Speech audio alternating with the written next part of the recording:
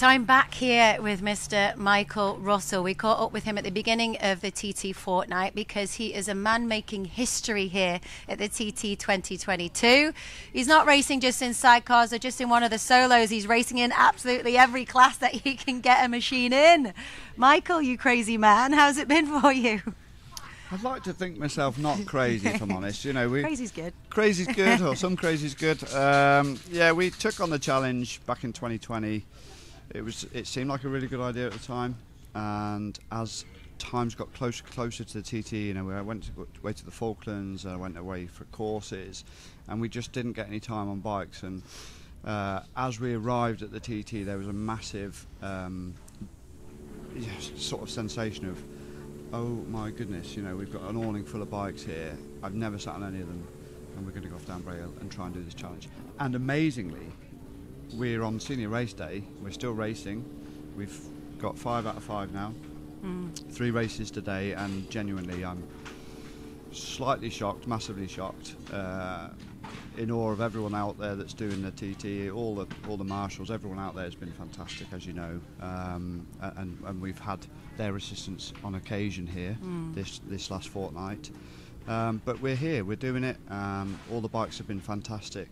The fact that we've, you know, to finish a race around the TT course is is an achievement. You know, if you speak to some some some racers, some riders, etc. in the past and all that, their only goal is to finish a TT. I've had really good finishes, and I've had some really good results that could have been, you know, without where you sort of sat on the, the hill at, um, you know, Glen Helen watching on the last lap or something, you know, something stupid's gone wrong with the bike, you know, something little, uh, and it is always the little thing, things that you know can put you out. Um, so for that point of view, Hailey, it's been amazing that we've got to this point where we've started five races on bikes that we've generally sort of cobbled together here almost really in certain, certain aspects. Some some bits have been done here um, and it's it's working. The team have been fantastic. Um, the porridge is going down the wrong way at the minute. Um, but yeah it's it's great. Um, and I'd just like to say a heartfelt thanks to everyone that supported us message on Facebook. I, I can't get back to them all. I'm really sorry. Um, but it's been a, a, a very emotional, very long, and we spoke earlier about it, long, sort of two and a half, three weeks, whatever it is.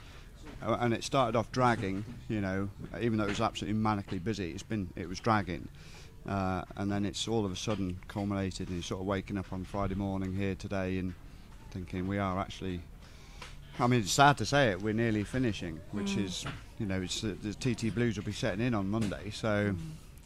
Yeah, I can't believe it. Thanks very much for you know and your support as well with the three wheeling side of things and the Energy FM side of things. There's been you know great coverage for myself as a privateer, so I can't thank everyone enough for that. It's important for us to cover those stories. It's been inspirational for us to watch as well.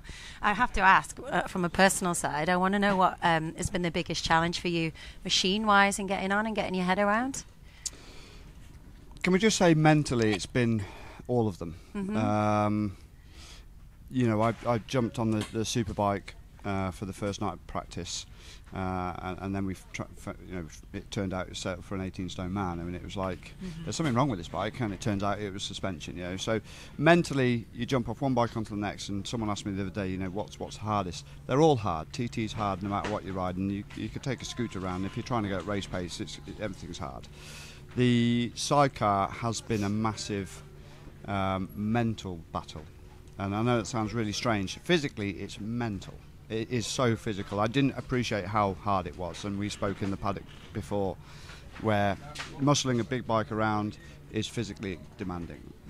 R- wrestling lightweight, actually, genuinely not that bad. It's just you've just got to be pinpoint accurate and try and keep that momentum going in the engine. But the sidecar, completely different kettle of fish. Uh, mindset, you've got to just completely forget about everything, and it's really hard. Normally, when we've done short circuits and you jump off a solo bike onto a sidecar and you sort of set off down Brands Hatch, you know, Paddock Hill, by the time you get to Druids, you, you're sort of in that mindset of, right, we're on the sidecar. I, I thought it'd be fine down here, but it's not at all. You know, the bumps, everything, you sort of sit in the sidecar and it's sort of, I'm trying to get my mindset ready for it but I'm having to mentally tell myself that I'm on that sidecar. I've got three extra foot. I've got Freddie's soul to think about. all the way around, and that mentally, I mean, unfortunately, the incident that happened on the first Superbike day on Saturday, unfortunately, when we saw that incident, it really knocked me for six. Um, I, you know, I was just. I- I don't want to sort of draw on it, but we all know the risks. But when things like that happen, on a solo, when we've seen that and experienced it in front of us and stuff, you're like, it, it is what it is. You know, we'll set off down Bray Hill again when we get the restart. But for the three wheeling side of things, I genuinely had to have a serious word with myself. You know, it did knock me for six. I think I took myself off down the bottom of, when we were sat at the uh, bottom of Bray Hill there, waiting for obviously the incident to be sorted out and stuff. I had to take myself away, and then Freddie sort of came over, and was like, "You okay?" And even thinking about now, I'm not okay.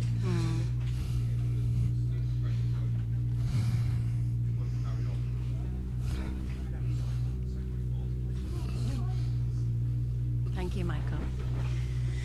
So, Michael Russell has been a huge two weeks and it's such an inspirational story. Um, wherever you can support him, please do. What an incredible man, an incredible team here, and the family spirit that they've got coming here at the TT. It's just been fantastic to watch and a really special story to have part of the Isle of Man TT races of 2022.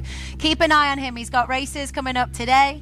He's got the 600, he's got the Superbike, and he's got the sidecar. So please do support him online, and we've got a little bit more content to, coming to you today, so keep your eyes peeled online.